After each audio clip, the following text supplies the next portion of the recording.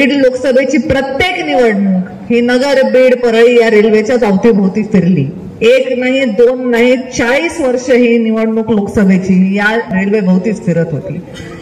अजून रेल्वे मार्ग शंभर टक्के पूर्ण झालेला नाहीये. अजून रेल्वे नगरपासून परळीपर्यंत आलेली नाहीये. पण नगर ते आष्टी या डेमू रेल्वेचा ज्या दिवशी शुभारंभ झाला त्या दिवशी मी त्या भाषणात सांगितलं होतं की झालं त्याचं कौतुक आणि झालं त्याबद्दल आभार निश्चितच आहेत. पण इथे आमचं स्वप्न पूर्ण होत नाही. आम्ही इथे थांबणार नाही. जोपर्यंत आम्हाला पूर्णपणे नगरवरून बीड मार्गे परळीपर्यंत येत नाही तोपर्यंत आमचं स्वप्न पूर्ण होणार नाही. आणि त्या दिवशी डेमू रेल्वेची वेळ सुद्धा आपल्या जिल्ह्यासाठी फायद्याची नाही हेही मी नमूद केलं होतं. पण आपल्या सगळ्यांच्या आशीर्वादाने लगेचच संध्याकाळची पण मेमोरियल सुरू झालेली आहे आता नगर आष्टीची. त्या वेळ संदर्भातही आपल्या काही समस्या आहेत. आपल्याला ती वेळ बदलूनही हवी आहे. ती मागणी माझ्यापर्यंत आलेली आहे आणि लवकरच ती वेळ बदलून घेण्याचं काम सुद्धा मी करेल. ते करावं असं वाटतो. कारण नुसती रेल्वे धावून फायदा नाही तर आपल्या भागातल्या लोकांना त्याचा उपयोग झाला पाहिजे. म्हणून त्याची वेळही बदलणार आहे. रस्त्याच्या बाबतीतही इथे अनेक रस्त्यांचा उल्लेख झाला. काही रस्ते आपले झालेले आहेत काही रस्ते राहिले ते सगळे सुद्धा पुढच्या काळामध्ये आपल्याला पूर्ण करायचे.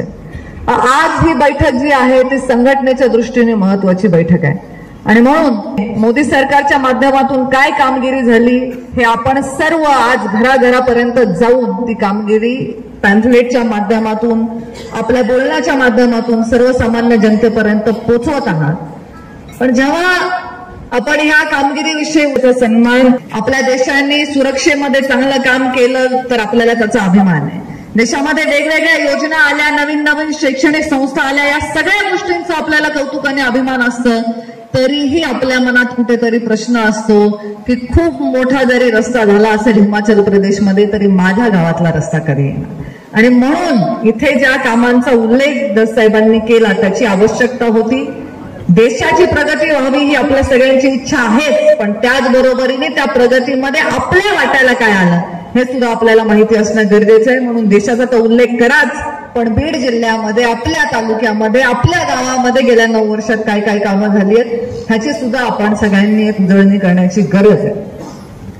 आज ची बैठक आहे त्यामुळे एखाद्या गावाला रस्ता कमी आला असेल एखाद्या गावाला कम- सभा मंडप कमी आलं असेल तर त्याच्यावर नाराज होऊ नका. सगळ्या निवडणुका या रस्त्या आणि सभा मंडपावर जिंकता येत नसतात. आज ज्या कामांचा उल्लेख ज्या ह्याच्यामध्ये हेल्थ स्कीमच्या विषयी दसाहेबांनी उल्लेख केला मलाही आज इथे एका योजनेविषयी आपल्या सगळ्यांजवळ एक उल्लेख करायचा आहे. ते म्हणजे काही दिवसांपूर्वी मी परळीच्या तहसीलदारांची भेट घेतली. आणि काही विषय परळीतले आम्ही त्यांच्याशी चर्चा करत होतो त्यावेळी त्यांनी मला सांगितलं की आपल्या भागातले जे शेतकरी आहेत त्या सगळ्या शेतकऱ्यांची यादी ही प्रत्येक तहसीलला आहे. सरकारने ज्यावेळी गरीब कल्याण अन्न योजना सुरक्षा सुरू केली होती त्यामध्ये त्यांनी बीपीएलच्या लोकांना तर दिलीच ही योजना पण शेतकरी जर असतील तर ते एपीएल मधले असले तरी सुद्धा त्यांना या योजनेचा लाभ घेता येत होता. आणि आता सरकारच्या नवीन नियमाप्रमाणे जर धान्य आपल्याला नको असेल तर आपल्या प्रत्येक शेतकऱ्याच्या ज्याच्या नावाने काही जमीन असेल त्या प्रत्येक शेतकऱ्याच्या नावाने महिन्याचे दीडशे रुपये हे डायरेक्ट तुमच्या खात्यावरती वर्ग होतात. तर माझी तुम्हाला सगळ्यांना विनंती आहे. अतिशय चांगली आणि सकारात्मक योजना आहे. प्रत्येक शेतकऱ्याच्या खात्यावरती थेट सरकारच्या माध्यमातून हे पैसे पोचते होतात. फक्त आपल्या गावातल्या शेतकऱ्याची यादी तहसीलमध्ये जाऊन एकदा जर आपण सगळ्यांनी बघितली आणि आपल्या गावातल्या शेतकऱ्यांना ह्याची माहिती दिली तर आपण या माध्यमातून प्रत्येक घराघरापर्यंत पोचू शकू.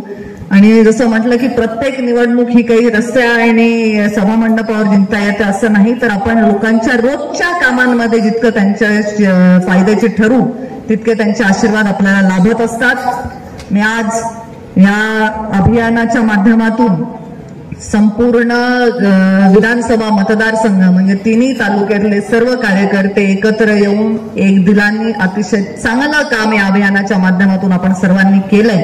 त्याबद्दल मी तुमचं खूप खूप कौतुक करते अभिनंदन करते. आज तीस जून हा अभियानाचा जरी शेवटचा दिवस असला तरी अतिरिक्त जे पॅम्फलेट तुम्ही मागितले ते तुम्हाला आज पोचते झालेले आहेत. पॅम्फलेट वाटायला काही आपल्याला मर्यादा नाहीये. आता इथून आजपासून लोकसभेची निवडणूक पार पडेपर्यंत हे काम आपल्याला करणं आहेच आहे. त्यामुळे हे कामही आपण आपल्या माध्यमातून कराल. सरळ ऍपचं